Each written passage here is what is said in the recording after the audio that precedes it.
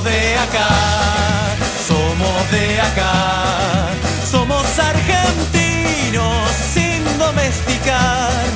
Somos la soberbia y la chispa genial, la bandera desteñida de los locos sin atar. Somos de acá, somos de acá, somos de acá.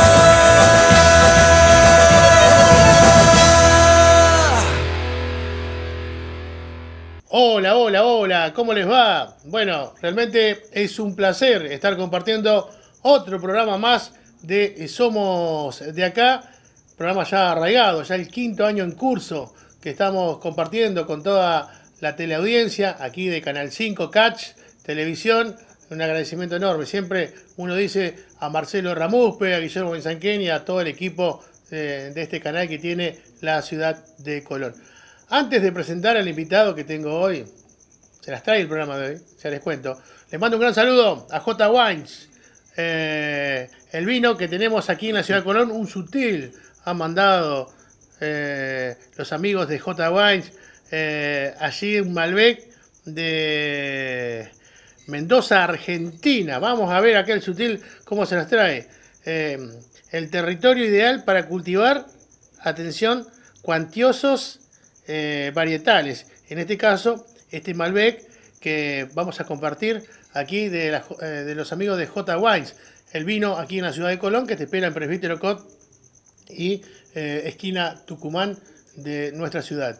Y esta picada enorme, la picada más grande de Colón del amigo Pichiledo, jamón del medio, jamón del medio, esta picada, allí la gente de jamón del medio en calle de San Martín, encabezado por Pichi un gran equipo que tiene allí en el supermercado que arman estas picadas espectaculares, las más ricas de la Mesopotamia argentina y gran parte de todo el territorio de Sudamérica. Atención con esta picada, eh, no se las pierdan. Bueno, ya con los amigos que nos acompañan eh, publicitariamente, vamos a presentar al invitado de hoy. Es un amigo de la infancia, nos conocimos en la escuela, bueno, eh, cada cual siguió con su oficio. Y el oficio de nuestro amigo es un oficio muy importante y, y que me gusta mucho, es interesante porque yo no me animaría ni a hacerlo ni a palo. El amigo es relojero. eh, Orlando Luis Iribarren. Codito al aire, ¿cómo anda, amigo? ¿Anda bien? ¿Cómo andas, Abel? ¿Todo, ¿Todo bien? bien? Un placer. Bueno, el placer es mío, ¿sabes por qué? Porque me hiciste caminar, me hizo subir hoy el amigo eh, Orlando, Orlando Luis hasta la altura donde está ya la cúspide de la parroquia Santo Justo y Pastor, allí donde está el reloj. Él es el relojero justamente eh, que tiene la parroquia ya hace tiempo. Vamos a estar hablando después de la trayectoria de él. Pero primero, amigo, nacido y criado aquí en la ciudad de Colón. Nacido y criado en la ciudad de Colón, nací como corresponde en el hospital San Benjamín. San Benjamín hace más de 50 años. Más no vamos a decir la edad, más de 50. Ya estamos ahí nomás, Hace más de ahí 50 nomás, años, hace más de 50 Pasando años. los 50 nomás estamos. Sí. Amigo, escuela primaria. Escuela primaria, eh, el colegio, eh, la, la 60, o sea, realmente era cuando yo empecé el Colegio Nacional número 10. Sí, señor. Sí, señor. Exactamente, y luego, bueno, eh, se reconvirtió en la escuela provincial eh, número 60. ¿Te quedaba cerca? ¿Estabas a una cuadra? Estaba ahí a una cuadra exactamente, una cuadra, dos, porque Sí, no, para porque entrar tenía que exactamente sí, tenía que dar la, la vuelta. Sí, sí, sí, sí. Bueno, ¿te acordás de, de las maestras, de los compañeros de aquella época? Totalmente, los compañeros nos seguimos, nos ¿Ah, seguimos viendo a menudo, los compañeros sí. Ah, no, no, Eh, algunos, si te acordás de algunos.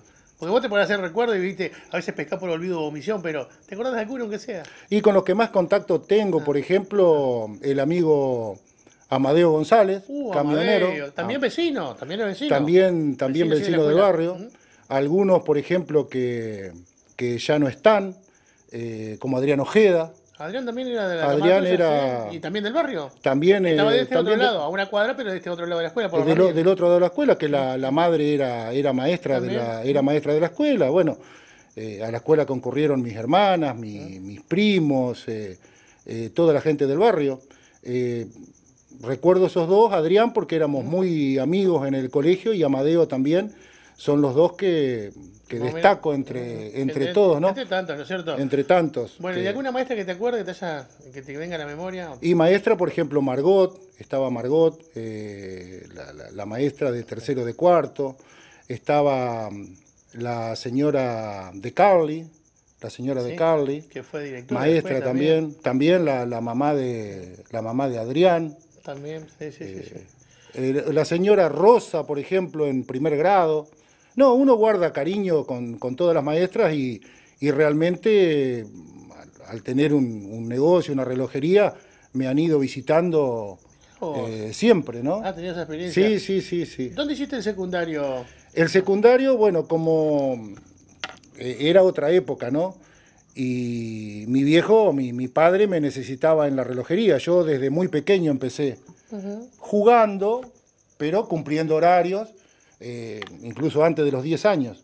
¿En la relojería? En la relojería, en la relojería. Mira vos. Incluso, eh, y claro, cuando terminé el primario, eh, mi padre me, me necesitaba en la relojería y bueno, eh, un año no, no estudié porque a él le parecía que un oficio en aquel tiempo era más importante y para el pensamiento, para el pensamiento de mi viejo era, era una realidad eso, en aquel tiempo dar, o sea que yo tengo un oficio, para él era más importante que haga los estudios eh, secundarios. secundarios.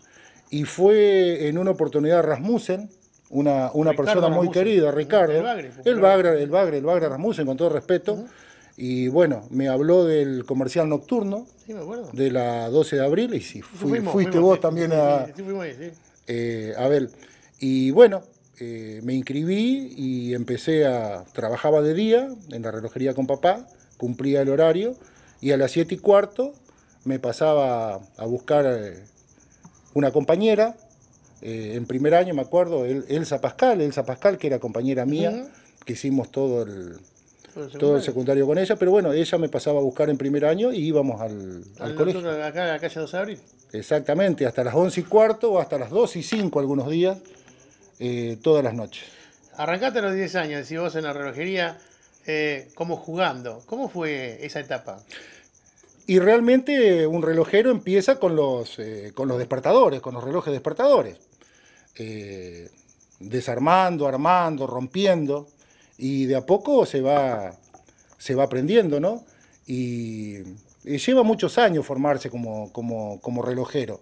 Estás unos años con los relojes despertadores, después empezás a, a trabajar con relojes tipo los relojes de Europa, los de viaje, ¿te acordás? sí, sí, sí, Eso que se cerraban, que son un poco más chicos, hasta empezar a trabajar con relojes, eh, con relojes de pulsera. En aquel tiempo todos relojes eh, mecánicos, los Fero, los Guatra, eh, los Delvana, todo ese tipo de relojes, todas esas marcas que eran muy conocidas, que tenía mayoritariamente la, la gente, máquinas suizas. A mí se me hace, sí, mirá lo que vos decís, máquina suiza, ¿no? Dicen que son por ahí las mejores o las más importantes. A mí se me hace muy difícil eh, desarmar un reloj y ver piecita por piecita. Bueno, ¿cómo fue? Fue como armar un rompecabezas la primera vez, eh, como jugando, decías vos. Fuiste aprendiendo las piezas, los nombres, los engranajes, eh, todo el sistema que por ahí hace que esa pequeña maquinita que tenemos aquí, ¿no es cierto?, Eh, haga girar este motorcito y nos dé la hora. ¿Cómo es eso, amigo? Y bueno, el reloj, eh, el reloj básicamente, eh, hablándolo de manera sencilla, tiene una cuerda. El reloj a cuerda tiene una cuerda, que bueno, el, el dueño le da la cuerda y eso es un resorte. Antes era cuerda. Era cuerda, el reloj era cuerda. Tiene una cuerda, se la da de manera manual, esa cuerda es lo que produce la fuerza. Y después tiene todo un sistema de rodamiento que llega a un escape. El escape es el que regula la velocidad con que el reloj va gastando la cuerda. Eso está conectado a un sistema de agujas que eh, son las que dan las horas. Por más cuerda que le des, al tope, digamos, para hablar mal y pronto, no quiere decir que vaya a andar eh, eh, más rápido. Tiene como una válvula de escape, dijiste vos, para El que- reloj tiene un volante, tiene un sistema de escape que está formado por un volante, que es el que gira, que todos lo han, lo han visto, con una, una espiral que se llama, que es el que le da el retorno.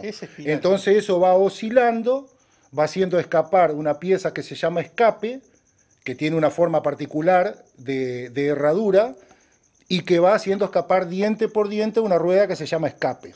Esa rueda de escape le sigue la rueda segundero, que es la que da los segundos, después hay una rueda intermedia que se llama petit, y después está la rueda de centro. La rueda de centro es la que da los minutos. Luego está la rueda motor, que es la rueda donde está la cuerda, que es la que da la fuerza, la motricidad para que funcione el reloj. Esa aguja eh, central, esa rueda de centro que da los minutos, tiene una reducción que se llama sistema de minutería, que es el que da la hora. O sea, el reloj, la máquina del reloj lo que da son los minutos. Y luego tiene una reducción con un sistema de minutería, una rueda que va adentro, afuera, perdón, que se llama rueda cañón, que es la que da la hora. Ahí tenemos las dos agujas. Tenemos la aguja horaria, la, aguja minutera y la rueda segundero, que es la que nos da los segundos. Originalmente el reloj tiene eso. Los primeros no tenían segundero. Bueno, y había relojes de eh, acuerda, como te mencioné recién. Eh, después ya vamos a entrar también con el tema de la pila, eh, ya más adelante en el segundo bloque. Pero eh, hablamos del reloj a pulso, ¿te acuerdas? ¿Cómo hacía funcionar el pulso del ser humano? Una máquina, si bien por ahí acuerda, vos sí, lo explicaste perfectamente. Qué bien, ¿no? La explicación que dio el amigo Oli. Orlando Luis Iribarri, yo le iba a decir cortito Oli, nomás como lo decimos desde chico. Pero el reloj a pulso, ¿cómo funcionaba? Bueno, realmente se llama reloj a pulso, no funciona con el pulso. ¿No? Podés estar con taquicardio, podés estar muerto, que el reloj no tiene nada que ver. El reloj funciona con el movimiento. No te puedo creer. O sea, al reloj... Así que toda la vida yo creí que era por el pulso del... no. Originalmente el reloj original se le fueron agregando cosas.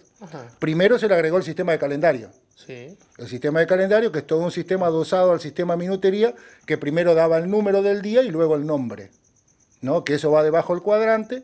Y luego se le agregó el sistema automático.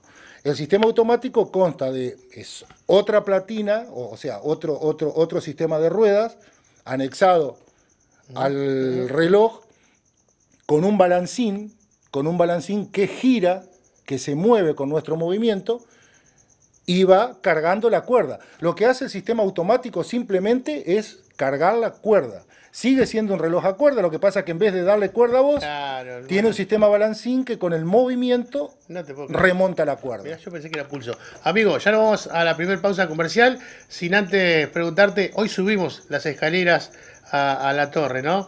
Y ahí me comentaste, después lo vamos a estar hablando en el tercer bloque y también parte del segundo, eh, lo que falló. Vamos a, la pausa compartiendo imágenes allí arriba, eh, querido amigo Oli, que me mostraba vos la pieza que le está faltando al reloj. Vamos a compartir la primera pausa comercial. Nos vamos con, esta imagen allí arriba de la parroquia del Carmen. Él me va a explicar justamente la pieza que, fue arreglada aquí por los torneros burianos. Y a la vuelta vamos a seguir hablando de los relojes y vamos a meternos después a lo último como frutillita de postre del reloj que está arreglando hoy aquí en la parroquia de los Santos Justo y Pastor. Pausa y enseguida volvemos. Bueno, estamos aquí en lo alto de la parroquia de los Santos Justo y Pastor donde funciona justamente el reloj. Acá vemos con los números romanos las cuatro pantallas. Vamos a girar aquí rápidamente para tener la ubicación que estamos justamente y acá nos encontramos en uno de las torres con eh, Orlando Luis Iribarren, eh, el relojero. Por ahí la luz no nos permite tomarlo bien. Ahora sí. ¿Cómo te va, Luisito? Contame un poquitito. ¿Volvió, ¿Volvió a funcionar otra vez el reloj? Volvió a funcionar otra vez el reloj como dato curioso que la gente mucho, mucho no sabe, con Abel entramos cómodamente parados dentro de las esferas del reloj. Totalmente, es alto, qué, dimensión. de abajo no parece. De abajo sí, pero es, totalmente, eh, bastante amplio, estamos mirando acá, eh, es impresionante. Eh, ¿Le hacía falta una pieza? ¿Vino? ¿Se le hicieron acá en Colón? ¿Cómo fue el tema? El relojito, el reloj tiene un sistema de remonte acá, que es el que sube esta pesa cada 5 minutos este motor que está detrás sube la pesa. Y tiene un sistema de cricket, como que fuera una bicicleta, digamos, que para un lado levanta la pesa y para el otro hace el ruidito del cricket y patina. Ese sistema de cricket que está dentro de esta rueda se rompió. Se rompió un perno, se desarmó y se rompieron dos ruedas, que, dos ruedas, dos, dos engranes que van dentro. Lógicamente la pesa cayó, hay un receptáculo abajo que es lo que evita que la pesa termine eh, en la iglesia, ¿no? Un receptáculo bastante fornido para eso, digamos. Y bueno, Buriano arregló este perno, que a lo último no hizo otro, sino que hizo un mejor trabajo, lo rellenó, lo rectificó. O sea que quedó el original. Quedó el perno original. Yo reparé los problemas que tenían en los dientes acá y se armó nuevamente el reloj. Así que a partir de ahí está, se armó nuevamente y está funcionando. Te pregunto por último el relojito este para esta primera parte, después te voy a estar preguntando el funcionamiento, que ahí comenzó. Acá está tocando las y media. Ahí toca y media. Ahí está 14 y media. Mirá qué casualidad. Estos son los pernos, con un sistema de palanca, cruza por el techo y va a la otra, a la otra torre porque las campanas están en la otra torre. Nos sorprendió. Y este relojito es el que vos te guías como para poner la, la hora, o sea, de los cuatro relojes, que son Es- cuatro. Esta es la máquina, ¿no? Sale un, un, un cable o digamos un, un cabo para cada, para cada reloj y ahí es donde vos haces girar. A ver cómo haces, para, ¿dónde, dónde movés para, para girar la. Para girar las agujas Sí, se, pero- a- se ah, se afloja esto y se lo gira de acá. Ahí está. Se afloja esta tuerca, al, al aflojar esta tuerca eh, queda desencajado, digamos, el reloj del sistema de agujas. Bueno, esta primera parte queríamos compartir con todos ustedes lo que había pasado con el reloj. Y ahora ya en la, la próxima, en el otro bloque, eh, cuando nos vayamos, eh, Orlando Luis Iribarren le va a estar contando el funcionamiento. Gracias. Muy bien, segundo bloque de Somos de acá. Eh, bueno, me quedé impactado primero con la, explicación del reloj a cuerda. Después me sacó una duda también con el, el reloj, como decíamos, a pulso.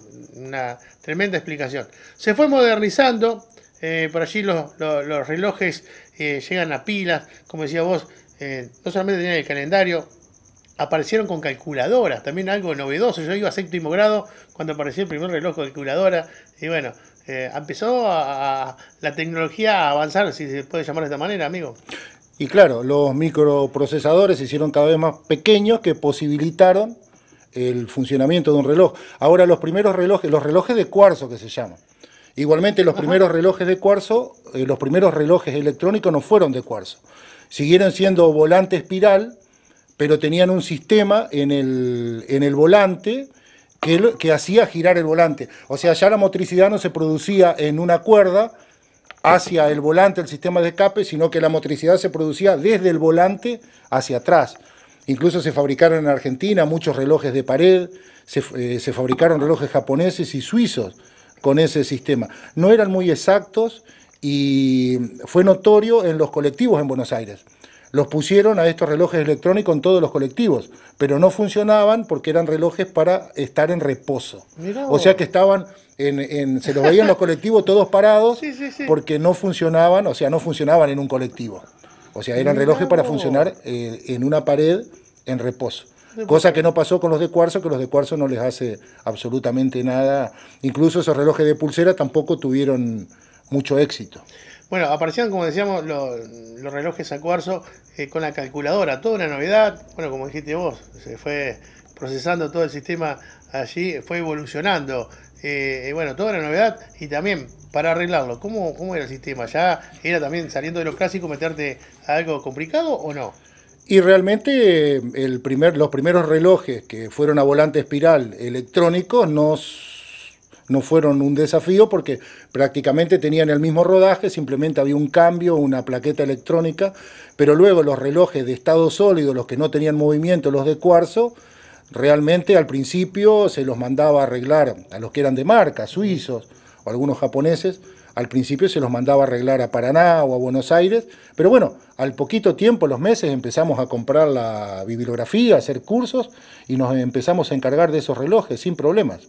Qué bárbaro. Sí. El reloj eh, calculadora, los Sí. re- bueno, fue un, un boom. Mm, sí, me tener un reloj calculadora y más en la escuela, Uh. la prohibición de los docentes. ¿Te acordás? ¿Te acordás? La prohibición de los docentes de matemática, el, eh, el reloj con juego, otro Ah, problema en la escuela también, que nos poníamos en los recreos, a- en- y no solamente en los recreos, a, jugar con los relojes. Había un reloj Citizen, eh, no recuerdo el modelo, que grababa, hacía una grabación de 20 segundos, que era, que era reemplazada por otra, eh, un reloj tipo espía, ¿sí? o sea, tener una grabadora en la bárbaro. muñeca era algo, era algo Sí, no, para, esa- para ese fantástico. momento, totalmente fantástico. Era algo fantástico, era algo fantástico, totalmente. Qué bárbaro, eh, Orlando, lo que estás contando. Y bueno, y allí también, yo hoy te preguntaba, esos viejos relojes, algunos tíos tuvieron eh, allí, eh, los tíos Vidal, ahí cerca de la casa de mi viejo, esos relojes que iban colgados a la pared, esos enormes relojes. Hoy no se ven tanto. ¿Aparecen allí en tu taller algunos relojes? Hay muchos relojes, ¿Ah, sí? porque sí, la, la mayoría de la gente los, los, los conserva, los van heredando y los conserva. Si bien algunos quedan de lado, son abandonados y aparece gente a vender un reloj que está por ahí eh, en desuso y acobachado en algún lugar, eh, la mayoría de la gente los conserva. Incluso hay gente que dice no poder dormir si no escucha las campanadas de noche. Claro. Esos relojes se mantienen, más que nada en las casas más antiguas, eh, siempre hay, incluso no solamente relojes de pared, sino relojes de pie. Bueno, Eh, eso, alemanes. Eso, hay muchos relojes alemanes eh, de péndulo, De péndulo, exactamente. escape de péndulo. Hay muchos relojes norteamericanos que son los que tienen forma octogonal, generalmente son relojes norteamericanos, y hay muchos relojes eh, ingleses. Eh, si bien los relojes y franceses, si bien los relojes franceses e ingleses son más de mesa, los relojes de pared tienden a ser más alemanes o americanos, norteamericanos. Sí. Vos alguna vez me contaste, Oli, eh, hablando con vos en esas charlas que tenemos siempre, viste el reloj, el popular reloj que tenemos aquí en la ciudad de Colón, hecho por el señor Pacot, que bueno, que daba la, la hora de muchos países del mundo. Eh, hablabas vos que habías eh, leído, te habías enterado también que hay muchos relojes de esa característica en distintos lugares. Hay muchos relojes de esas características. Evidentemente, eh, mucha gente, eh, antiguamente, eh, manitas, como le dicen en Centroamérica, esa Manitas. gente, nosotros acá lo teníamos Haroldo, por ejemplo, una Haroldo, persona, una persona que sabía de todo, una persona hábil, que hacía un palo de golf, arreglaba un reloj, eh, y gente así como Haroldo, gente muy hábil, eh, se ha dedicado y una de las cosas que han hecho es hacer ese tipo de relojes totalmente artesanal. Muchos de ellos únicos en su, en su especie. Esta gente compraba un manual, que los manuales de relojeros, yo tengo uno de Decarle, por ejemplo, que te da la relación entre las ruedas, tamaño, todos los cálculos que tenés que hacer para diseñar el reloj. Ahora, convengamos que no es un trabajo sencillo. No es un trabajo sencillo diseñar, por más que tengas un manual que te indique, y fabricar un reloj. Eh, generalmente se hacían los moldes en madera de las distintas piezas y se mandaban a fundir y hacer un lugar En especializado en distintos en distintos lugar lugares. mundo, que- distintas piezas, por ejemplo, el de Colón dice que Pacot eh, trajo piezas de distintos lugares, tanto de Sudamérica como de Europa, puede ser. Sí, sí, sí, seguramente. Y hay muchos de esos relojes. Y claro, tienen el valor por ser únicos. Y esos relojes, aparte del sistema de la hora y del sistema de los toques de las horas, que no era simplemente un toque en la hora, y- o, o o toques a cuartos o a media con un golpe, eran relojes que tenían muchas voces. Mirá Tenían vos. una cadencia para las y cuarto, una cadencia para las y media. El reloj, por ejemplo, bueno, vamos a hablar eh, luego del reloj de la iglesia. Sí, hoy cuando veníamos bajando, por eso te digo, ¿qué oído tenés vos? Sonó una campanada y vos dijiste, está pegando mal eh, eh, el martillo de la campana. ¿Por qué? Claro, porque la campana tiene que vibrar.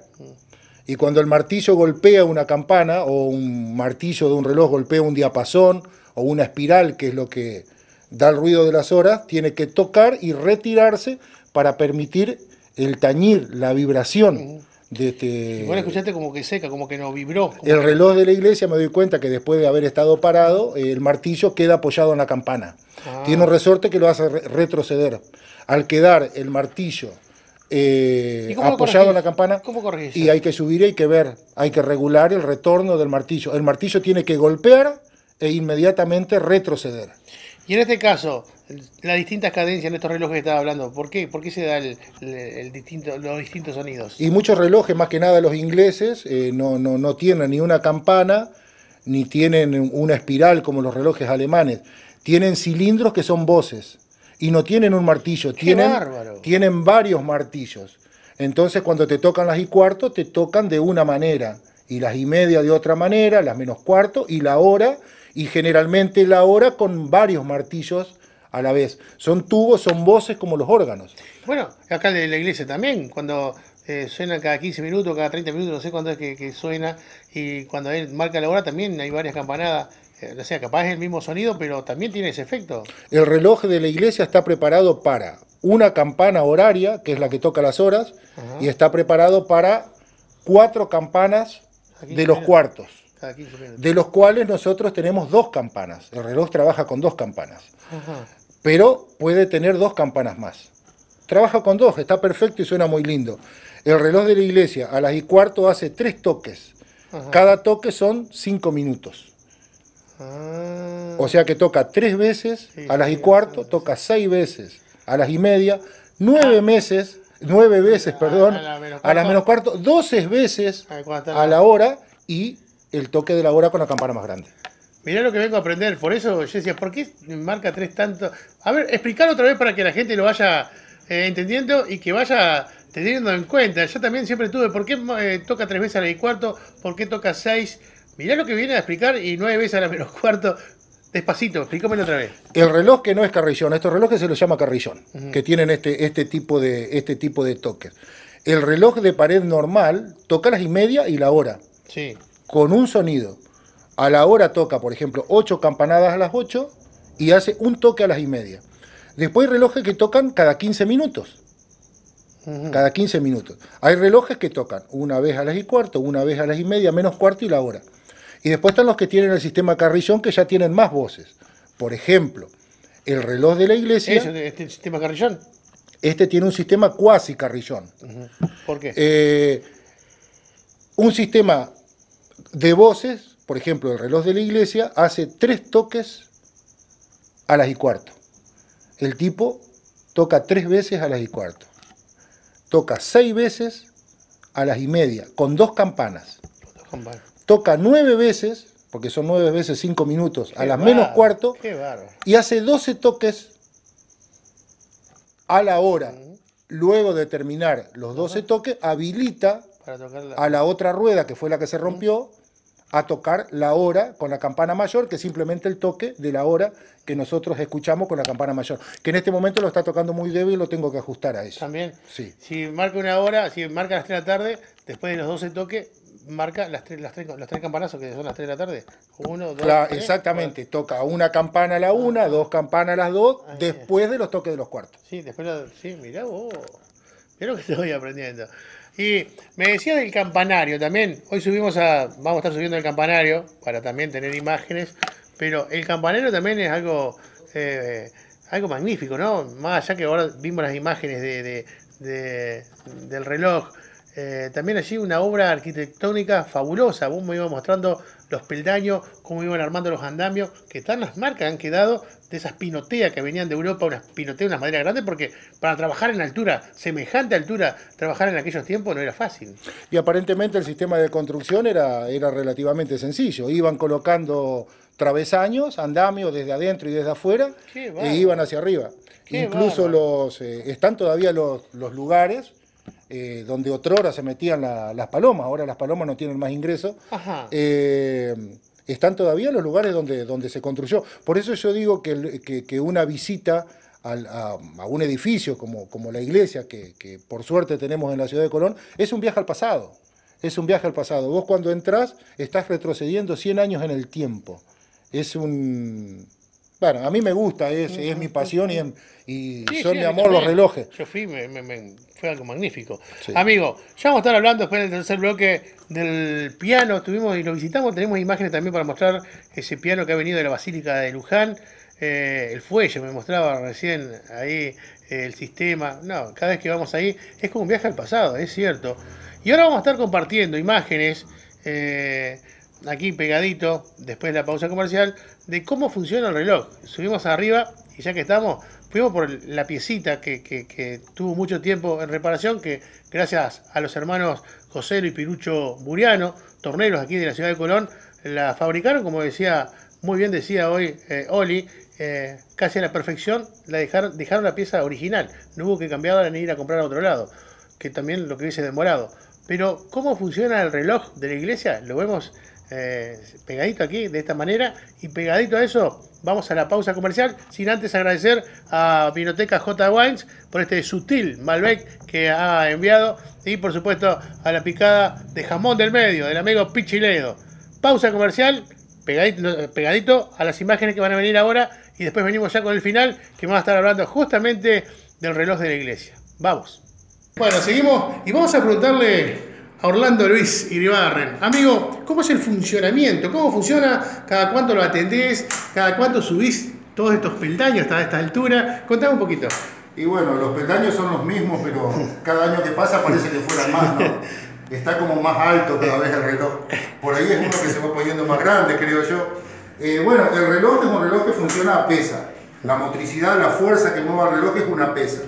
La pesa tiene un sistema de remonte, que es lo que se rompió en el reloj, ¿no? Con un motor, un sistema que a la hora y 5, con un fin de carrera, esta ruedita a la hora y 5 activa el motor.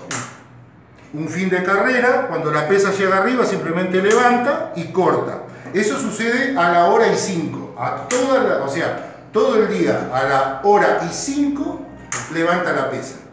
Esta es la pesa que toca la hora, que es esta la rueda, y toca los cuartos, que esta es la rueda. Tiene un toque cada hora, un toque para una hora, dos toques para dos horas y así consecutivamente. Luego tenemos esta pieza, esta rueda, que es la rueda de los cuartos, que tenemos cuatro palancas, cuatro púas, ¿no? Toca tres veces a las y cuarto, una vez cada cinco minutos. A las y cuarto tiene tres toques, 5, 10, 15. Seis toques a las y media, nueve toques a la menos cuarto, 12 toques a la hora y luego de los 12 toques de la hora activa la rueda maestra horaria, que es la que da el toque correspondiente a la hora, a la hora que sea. Cuando esta rueda toca los cuartos, está sincronizada con la, sube la pesa del reloj. Esta es la pesa de los toques, de las campanas, y esta es la pesa del reloj. Esta pesa, esta pesa la sube el motor, y a esta pesa la sube esta pesa cuando toca los cuartos. Está muy sincronizado. Qué bueno. Y esa es la pesa del funcionamiento del reloj.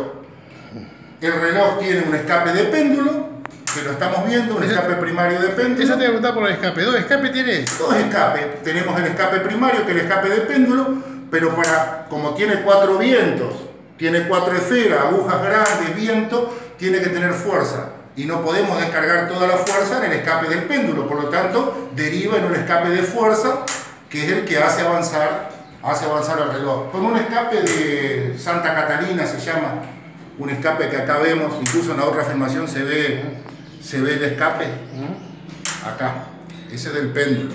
Y este es el escape secundario que tiene un viento para que no golpee tan fuerte. Perfecto. Igual que los vientos de los toques. Ah, también es ese. Claro, eso hace que, el viento hace que, eh, por ejemplo, si tiene que tocar las 10, tenga una cadencia y vos le regulás, se le regula la inclinación de acuerdo a la cadencia que querés que tenga.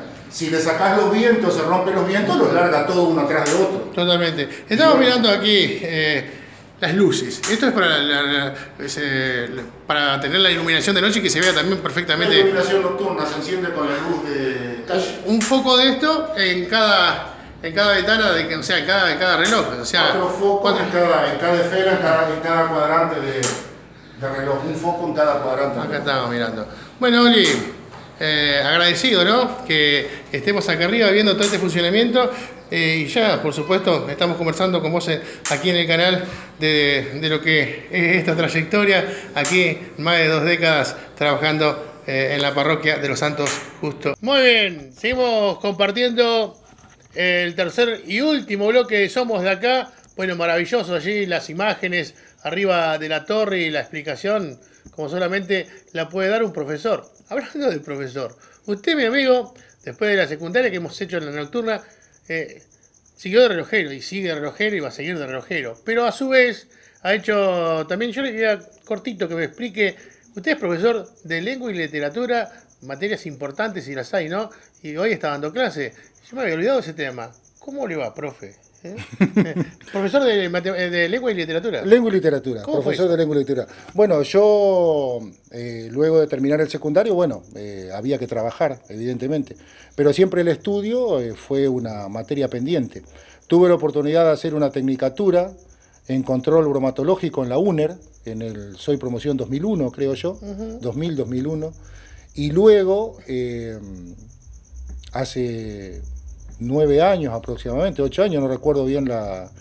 Me decidí por el profesorado de lengua y literatura. En realidad empezó mi hija el profesorado de lengua y literatura. Sí. Ella terminó el secundario y empezó el profesorado de lengua y literatura. Y yo mirando las materias, mirando la carpeta, los libros de ella, mi lector, ávido lector ¿Cómo de toda la vida? Sí. eh, Le pregunté a mi hija si no le molestaba tener al padre como, Como compañero, Como sí, compañero. Ella ya, cuando yo me inscribí, ella iba a segundo año, cuando yo entré en primer año. Mi hija, por supuesto, me dijo que, que no, que mejor que tenía alguien para pedirle plata en los recreos. Bueno. Así que Sí, aceptó y. Así que sí, sí, ahí empecé. Y terminé, eh, a los cuatro años terminé, y bueno, comencé a trabajar. Trabajé en el colegio normal, trabajé en la escuela técnica, trabajé en la, escueli- en la escuela del Brillante, Ángel Luisi, eh, trabajé en la escuelita El Parque, eh, y luego empecé a trabajar en la escuela 15, la escuela del Ombú, Sí, sí, sí. sí, sí, donde actualmente, donde actualmente trabajo. Una de las materias que más carga horaria tiene. Es junto a matemática una de las materias que más carga horaria tiene. Tiene cinco horas, cinco horas cátedra semanales eh, la materia. Sí, ¿Tu sí. hija profesora me dijiste? Mi hija profesora de lengua y literatura. ¿Y tu hijo? Y mi hijo es ingeniero civil. No te puedo creer. Mi hijo estudió ingeniería civil, está, está trabajando muy bien. Está trabajando muy bien. Él en este momento está trabajando en el Uruguay. Tuvo el problema que, bueno, está trabajando desde lo virtual. eh, siguió trabajando todos estos meses desde lo virtual y ahora hizo los papeles. Casualmente se hizo ayer el hisopado, está esperando el resultado. eh, ya tiene todos los papeles para cruzar. Ah, ya, ya está. ya Para cruzar, así que si Dios quiere, mañana o pasado mañana va a cruzar al Uruguay a, a retomar de manera presencial sus... Y nosotros, bueno, y nosotros seguimos virtual, eh, trabajando, hemos doblado el trabajo, do- doblado las horas de trabajo, nos hemos tenido que reconvertir en profesores virtuales, Sí. eh, pero bueno, eh, es un trabajo en equipo que, que ha dado sus frutos, ¿no? Un trabajo en equipo no solamente de los docentes y el equipo de la, de la escuela, sino también de los padres, por supuesto, que, que- que- que tienen que apoyar y ayudar a los chicos. Este trabajo desde la virtualidad ha, redoblado el esfuerzo de padres, alumnos y, y docentes, pero entre todos, entre todos lo vamos, lo vamos a Dejaba de mandar un saludo al profe Carrancio, que alguna vez estuvimos hablando Ah. con vos y, y bueno, un hombre que. Y también no sabía que era estaba emparentado acá con el amigo del canal, con Marcelo Ramú. Me acabo de enterar, parece, que, que ha dicho mi cuñado Sí, acá. sí, el, sí, sí, cuñado de el- Marcelo Ramú. el Bueno, compañero. Se lo quiere mucho el profe. Es un profesor que se lo quiere mucho, sí. Sí, sí, un profesor que ¿Fue se lo, se lo quiere mucho. Me dio varias materias, dentro de ella latín, que tuve la suerte el año pasado, eh, tuve la posibilidad de ser ayudante de cátedra de latín del, del profesor. Mirá vos. La verdad que un Oli, placer. eh, antes de meternos ya con el reloj de la iglesia, déjame mandar un saludo a Oscar de La Perla y este exquisito postre, ¿no? Que estamos compartiendo. Espectacular, mire, mire. Qué postrecito, ¿no? Eh, uno de los mejores postres, bueno, que hemos probado a lo largo de estos 52 años de trayectoria y de vida que tenemos, exquisito. Vaya y, pida el postre eh, de la perla, no se va a arrepentir. eh, unos ingredientes de primerísima calidad, así que un saludo para todo el equipo de la perla. Amigos, ya metiéndonos de lleno el reloj de la iglesia. ¿Cómo nace? eh, hablamos recién también fuera del micrófono con Marcelo Ramuspe y con Guillermo Bizanquén, que tuvieron el desafío que estuve yo hoy. Pero ellos lo tuvieron con Haroldo Jordán, también eh, aquel eh, recordado relojero. Eh, creo que Haroldo Jordán tiene mucho que ver también para que vos te acerques. Él creo que te, por ahí te abrió las puertas y te enseñó un poquito lo que era el reloj de la iglesia. ¿Cómo fue? Haroldo, Haroldo, yo una persona muy, muy querida, una persona que yo respetaba, respetaba mucho. Él ya no podía atender el reloj, una, cuestión de edad, seguramente, eh, no de habilidad, porque era una persona totalmente hábil y hasta. Sí, sí, sí. sí. eh, y bueno, Haroldo, Haroldo, sí, Haroldo, Haroldo era, como dije hoy, una especie de, de- de persona hábil para todo lo manual. Era, aparte, una persona con, con un, con un conocimiento, una historia y unos recuerdos. Él siempre pasaba por la relojería, incluso nos encontrábamos yo en, eh, frente al reloj ahí, sentados, eh, hemos charlado sobre el reloj, observándolo. Y bueno, por supuesto, lo- los comentarios, las anécdotas y la guía de, de Haroldo. Recuerdo también a, a Violas, a Violas, También. a Violas que señor. estuvo antes, antes de Haroldo, que en una oportunidad fue la primera vez que conocí el reloj. Él estaba en, haciendo su trabajo en el correo. Y yo era un chiquilín y quería conocer el reloj. Y bueno, lo conocí gracias a, A a Viola. Viola, una persona muy, muy, Sí, muy amable, una, Cerrajero, una barbaridad. Cerrajero, si habré ido, si me habré mandado, me habrá mandado mi viejo que yo protestaba porque quedaba en el otro, del otro lado de Colón para Sí. hacer las llaves, eh, ahí al- en la costanera prácticamente, la, la- la casa de, de Sí, Viola. de Viola. Eh, amigo, bueno, eh, muchos años. Eh, Haroldo te da la posta. tomar la, la responsabilidad de, de manejar el reloj del pueblo, porque es el reloj del pueblo. Me, dice mi suegro cada tanto, hoy está parado el reloj, cuando se había roto la pieza, ¿no? Que estábamos hablando. Y la semana pasada, estos días, me dice, eh, fíjate, Benito, que comenzó a funcionar, tenés que de Ibarra y hacer una nota de Ibarra que comenzó a funcionar el reloj de la iglesia. Hay mucha gente que mira el reloj de la iglesia. Hay mucha gente, incluso cuando, cuando el reloj se detiene, eh, enseguida te- te preguntan. Incluso cuando está un minuto, dos minutos mal, También, te dicen, también, el reloj está atrasado, el reloj está adelantado. Qué.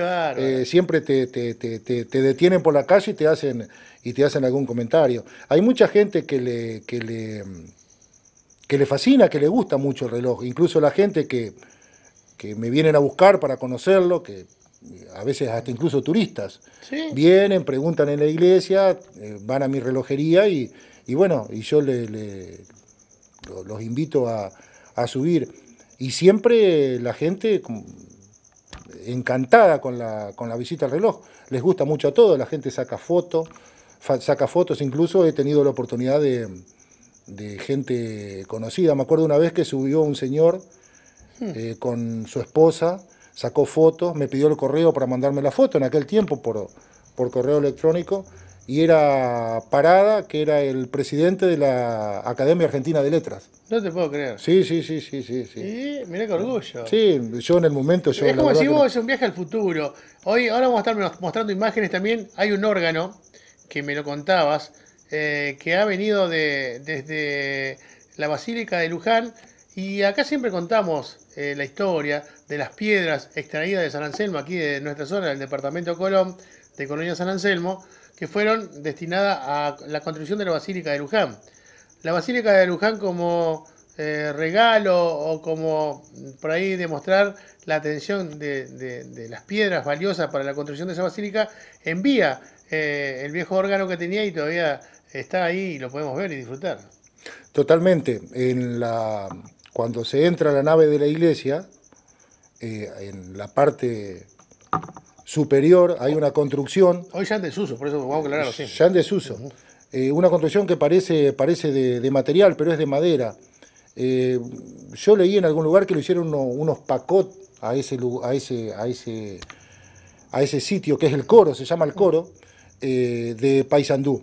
Es, una, es un lugar que tiene todo un lugar para reclinarse, seguramente los chicos del coro, los chicos cantores, la gente que... Y está el órgano, está el órgano.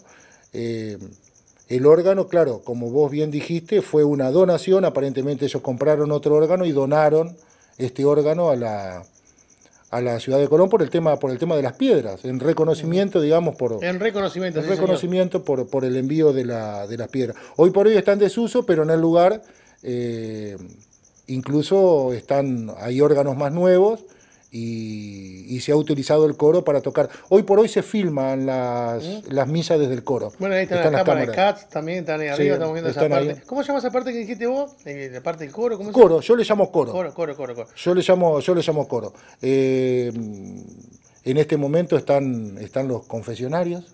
Ah, están Los, viendo los con- confesionarios, viejos- sí, viejos sí. confesionarios estaban ahí Los arriba. confesionarios que están ahí Uy, arriba. si no habremos, si habremos confesionado. Éramos pecadores, chicos. Éramos pecadores. Qué travesura. No, eh. yo- éramos, traviesos, éramos traviesos. Abelito. Pero no íbamos a confesar en esos confesionarios. Abelito, casi que teníamos que buscar pecados cuando éramos chicos, nosotros no sabíamos qué decir. Y ahí Eh, estaba Don Berín, el padre Dulce y nos confesaba. el padre Dulce, Berín. Y bueno, hablando de, hablando de padres, el, el- el- el gestor de que volviera a funcionar el reloj, eh, junto con la gente de la comisión, junto con la gente de comisión Bullies en aquel tiempo, eh, lo tenemos al- al ex jefe eh, de policía también, que, que está ahora de presidente de la comisión, Ah, Manucci. Manucci, sí, sí, sí. Eh, que, que son el nexo, digamos, entre, entre la comisión. La comisión paga todo lo que son los gastos de limpieza.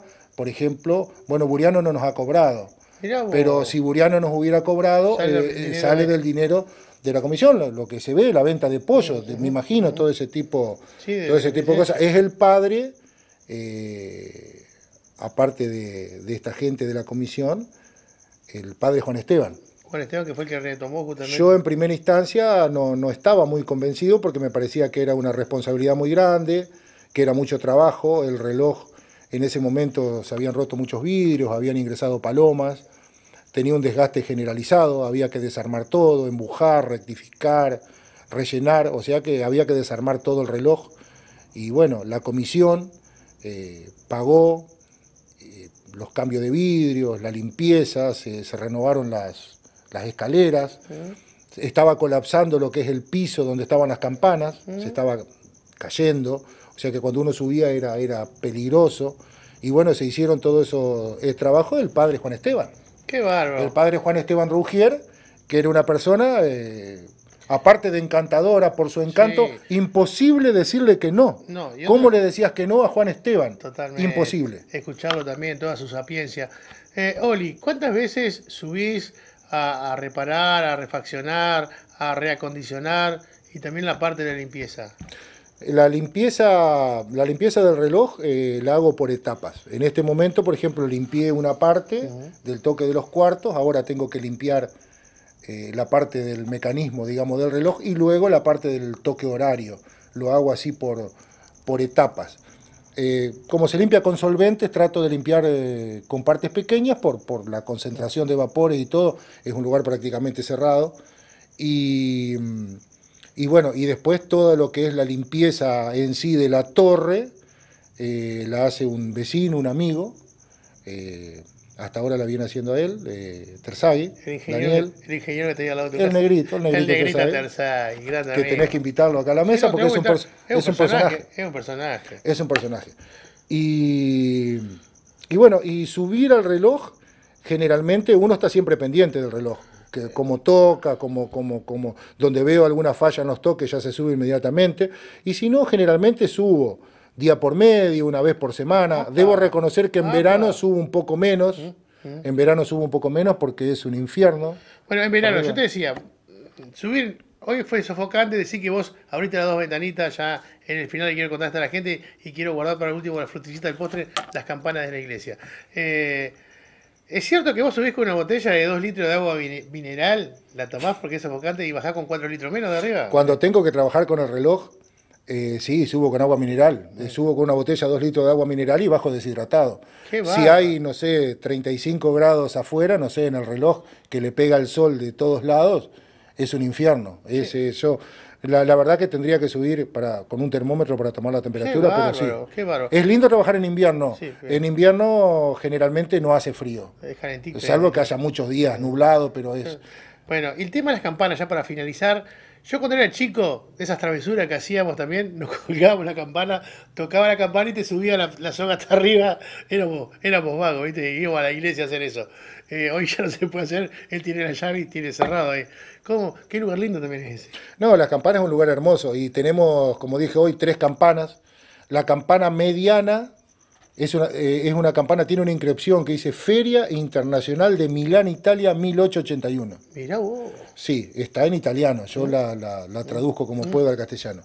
Y 1881. Esa campana seguramente me va a corregir alguno de los, de los, de los colegas que, de los colegas que están más en el tema. Esa campana creo que vino en la época del padre Lantelme. El padre Lantelme. Mirá vos. Una campana cuando no estaba el reloj. Con el reloj vinieron dos campanas. Hay fotos con las campanas en el atrio de la iglesia. La campana mayor, que es la del toque horario, y la otra del toque de los cuartos, que acompaña a esta vieja campana, que llegaron en el 30 Claro. con el reloj. Ahí completan las, las tres campanas. O sea que tenemos la campana mediana, que es más que centenaria, y, las, y la campana grande, digamos, que es grande, entro dentro, entro parado sí, dentro sí, de la campana. Y la campana pequeña, que vinieron con el reloj en el 1930 aproximadamente, creo yo que estaba el padre Narciso. Ya está. Narciso Guiburo. El padre Narciso Goiburo en esa época. Eh, si llega a tocar un campanazo, mira la pregunta de ignorante, ¿no? ¿Qué hago? ¿Te dejas solo si te llega a tocar ahí arriba? ¿No te, te ha pasado? El- eh, siempre cuando estoy tocan, tocan serio? la campana y si el reloj sigue tocando. Cuando voy a trabajar con las campanas, el reloj sigue tocando. Y pese a que sé que van a tocar, me pego más de un Uh. sobresalto en, en, en, oportunidad. El problema es que la echen a volar. ¡Qué va! Claro, porque la- las campanas al reloj le golpea un martillo. Pero esa soga que decís vos eh, es cuando la echás la echás a volar a y la campana. Y ahí volábamos con No, no, no, nunca me pasó, Nunca. No, no, pero donde veo que la campana se empieza a mover, seguramente voy a bajar con prisa porque debe Ah, ser. Y debe ser, eh, aparte, no sé, me va a tirar por abajo la campana. que- Estruendoso también. Uh. sí. Amigo, eh, te dejo la última ahora sí. Eh, primero, ¿cómo te sentiste? ¿Te sentiste cómodo? Sí, sí, totalmente. No, no, no, el Bueno, ambiente es muy agradable. acá, Aparte de toda gente conocida, así que Ah, muy bien, muy bien. Eh, la última, amigo, siempre le pedimos a todos los, invitados un mensaje final, ya con tu visión, con tu trayectoria. Mirá, yo te estoy pidiendo y tenemos la misma edad, amigo. Eh, ¿Qué le podemos decir a la juventud? ¿Qué le podemos decir a la sociedad de Colón? Esta es tu cámara. Un mensaje final, amigo. Bueno, la verdad que mensajes, eh, no, no sé si soy la persona adecuada para dar un mensaje. Lo que sí puedo decirles es que los invito a conocer el reloj. Si alguna persona quiere ingresar, quiere conocerlo, yo estoy a disposición. Pasan por mi negocio y bueno, arreglamos, subimos. Evidentemente, que dos personas, do- más de dos personas no, o sea, subo yo con, con dos personas por, por seguridad. eh, algún menor de edad con su padre, si quieren conocerla, quieren conocer a los porque es, es realmente algo para conocer y es una pena que, que algo tan, tan lindo, algo tan, tan agradable y tan de Colón, eh, la mayoría de la gente no lo conozca, ¿no? Bueno, hoy, Qué hoy en este momento lo van a conocer un poco más. Qué buena invitación que estás haciendo. Amigo, muchas gracias. Eh, por supuesto, la, queda pendiente seguir charlando de muchas más cosas, porque uno va aprendiendo, ¿no? Y cuántas cosas que por ahí los colorenses no sabíamos y que hoy lo, lo reflejó eh, con una explicación extraordinaria. Tampoco lo teníamos que ir a profesor, ¿eh? Aparte relojero, el relojero de toda la vida acá de la ciudad de Colón, como su papá y toda su familia. Familia relojero, los Iribarren, los Rotundo. Eh, un placer haber tenido aquí en la mesa a Orlando Luis Iribarren. Esperamos que el programa haya sido del agrado de todos ustedes. Nos reencontramos la próxima semana. Chao. Somos de acá, somos de acá, somos argentinos sin domesticar. Somos la soberbia y la chispa genial, la bandera desteñida de los locos sin atar. Somos de acá, somos de acá, somos de acá.